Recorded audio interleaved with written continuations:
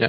Now, the idea of uh, growing uh, more food by reverting to uh, local production is ludicrous. I mean, the reason why, again, we globalize food production in the first place is that some regions are just better than others at growing grain or grazing livestock or things like that. So, basically, what you do when you promote local food against what would spontaneously be a more globalized system is that you promote inefficiency.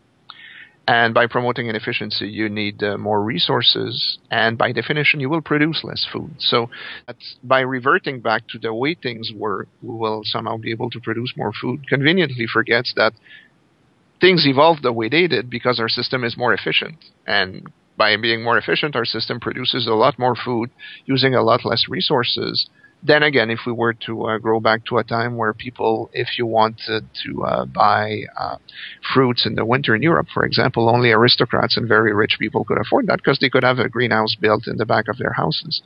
But this was obviously very costly, and only very wealthy people could afford uh, good quality food. And you look at wealthy people today in terms of height and uh, physical uh, constitution, and they're not so different than poor people, which is again a first historically. And that's because our system has made good quality food affordable to people of lesser means, which is again not something that existed in the past. And the reason why it didn't exist in the past is that food production was inherently inefficient.